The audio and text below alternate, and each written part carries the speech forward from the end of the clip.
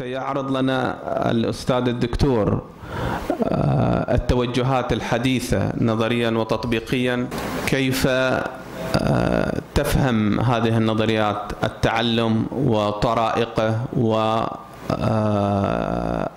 والفنيات والإستراتيجيات في التعلم؟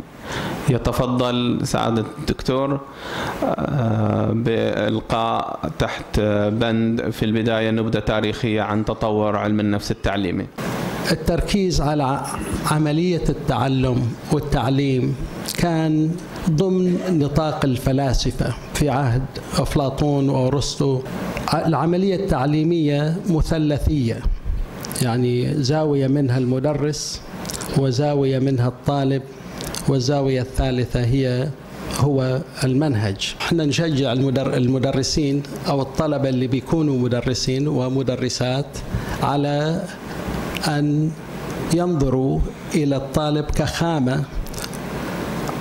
وهدف نقل هذه الطالبة من هذا النمط من السلوك الطلابي أو الأداء كطالب إلى السلوك الآخر اللي إحنا نعتبره هو الأفضل والأسمى. أنا أسمي النمط الأول الطالب الذي يدرس ليس للعلم نفسه والنمط الثاني الذي يتعلم من أجل العلم. أعطيكم بعض الخصائص للنمط الأول. هذا الطالب يعيش على مدح الآخرين. يشعر في النمط الأول هذا الطالب أو الطالبة بأن الجدارة أو القدرة آه، على الأداء في مادة الرياضيات أو العلوم هذه خصلة مستقرة أنواع التدريس. الحفظ هو القاعدة هو الأساس. ومن ثم مرحلة الفهم. ومن ثم عملية التطبيق. ومن ثم التحليل ومن ثم التقييم ومن ثم إنتاج فكرة جديدة تبني على ما حفظه الإنسان وفهمه. وكاد أجزم بأن معظم تركيز المدرسين يعتمد على القاعدة فقط الحفظ. ولربما الحفظ الغير يعني حفظ عن ظهر قلب بدون فهم ما يحفظه الإنسان بعض الأوقات.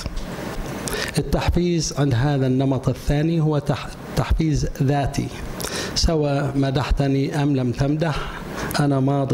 هذا النمط يختار الفرص آه، في في الفصل آه، اللي يزيد من كل ما كان فيها تحديات كل ما كان أفضل، يعني يبحث عن التحدي، وهذا النمط تواق لمعرفة ما آه، يسموها التغذية الرجعية. الفشل بالنسبة لهم ليس شيء بالمخجل أو المهين ولكن هو فرصة للتعلم آه، طالما الطالب أو الطالبة آه، منفتحة على فرص التعلم منها. وددت أن أعرف سر الغياب الكامل في حديثك عن الذكاءات المتعددة. آه، في الواقع أنه بالطريقة التي أبرزتها ما زال في هناك النظرة إلى مجموع الطلاب كبالك ككتلة آه، واحدة وتعتمد كلية على موضوع الريكول أو التذكر. الذي هو ينتمي إلى آه، النمط الأول. هذه ناحية. الناحية الثانية آه، الحقيقة بس آه، نوع من التغذية الرجعية غير مقبولة. الأصح المتفق عليه تسمى التغذية الراجعة. الراجعة. شكرا. عندما جاء نظام التجاوز للمدارس أنه يرفع الطالب يعني تجاوز فصل ويرفع إلى فصل آخر. كانت أيضا المعايير جدا ضعيفة. فتبرز الطالب النمط الأول على آه، الثاني. آه، هذه كلها العوامل التي آه، مثل ما ذكرنا تساعد على بروز النمط الأول. هل ممكن إلى المعلم أن يحول النمط الأول إلى نمط ثاني؟ متى يبدأ انتماء الطالب أو الطالبة لنمط معين في الوضوح؟ هل يبدأ مثلا من المدرسة أو هل ممكن في البيت منذ الطفولة أسلوب تربوي, تربوي معين يوجه الطالب إلى نمط دون الثاني؟ وشكرا. السؤال. هل الدافعية والهدفية مقدمة أم كبر السن والعمر مقدم في علم النفس التعليمي وشكرا. المجتمع يحارب عملية الخروج عن الصندوق. ومحاولة التفكير بشكل خارج النطاق العام للتفكير. على العكس ممكن أن يعني يوصف ذلك بأوصاف كثيرة يعني. لذلك أنت تتكلم عن هذا الطالب الذي طلب منه أن يكون ضمن نطاق معين فقط. فإن خرج منه لا يكتفون بعدم تشجيعه بل يحاربونه. ولكي يحصل على التصفيق والتحفيز الذي ذكرته يا دكتور فهو يضطر للقبول بأن يكون أحد العبيد لنفس الأفكار المتداولة. شكرا لك دكتور إبراهيم. كنت أتمنى أن يكون الوقت يعني في الوقت متسع لتتحدث عن بقية محاور أو ركائز العملية التربوية اللي هي الطالب والمدرس والمنهج، أنت تكلمت عن الطالب لكن ما تكلمت عن بقية الأدوار. الملاحظة الأخيرة بس هي لا أعرف ان لا أستطيع أن أقول أنها نظرية بل هي رأي. أريد رأيك فيه وهذا الرأي يقول أنه لا يوجد طالب ذكي وطالب آه، غبي. يوجد طالب مجتهد وطالب غير مجتهد. هل هذا صحيح؟ وشكرا. البيئة المحيطة تشجع على النمط الأول وليس على النمط الثاني.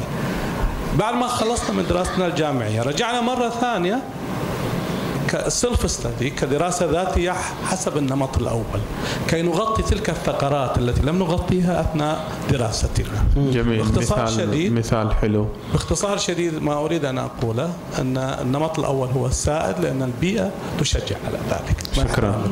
هل من الصحيح يعني دمج هؤلاء ذوي الإعاقات المختلفة يعني مع الطلاب الأصحاء يعني زي ما أشوف الآن في الخطة تقريبا من سنة سنتين دمجوا كثير من الحالات مع الطلبة يعني الأصحاء. هل هذا يعني التصرف صح أو إدماجهم مع الطلبة العاديين؟ خاصة يعني نشوف نعم. حالات جدا جدا يعني آه، مأساوية يعني. شكرا لكل ما تحملوا خصوصا بعض الأصدقاء اللي يشتغلوا معنا أو الطيور الخفية اللي تشتغل بصمت لإنجاحنا ولوقوفنا على محطات النجاح. شكرا لمنتدى الثلاثاء شكرا لكم جميعا. إحنا تحت مظلة أصدقاء تعزيز النفس الصحة النفسية تحت مظلة وزارة الصحة تحت مظلة مظلة شيء اسمه الهيئة الوطنية لتعزيز الصحة النفسية فرعها في الرياض. إحنا أول فرع بهذا المسمى يكون موجود عندهم في الشرقية. نحن نشعر بالمسؤولية تجاه مجتمعنا نشعر تجاه المعاق هذا أوكي والابتزاز أيضا. فنكون نحن بحكم إن إحنا مهنيين نحتاج إلى نوع من يعني المهنية العالية وأيضا الأخلاقيات العالية. أشكركم. لتحت هذه الفرصة التعريفية وأشكر سعادة الباش مهندس جعفر الشايب للاستضافة. شكرا لكم جميعا.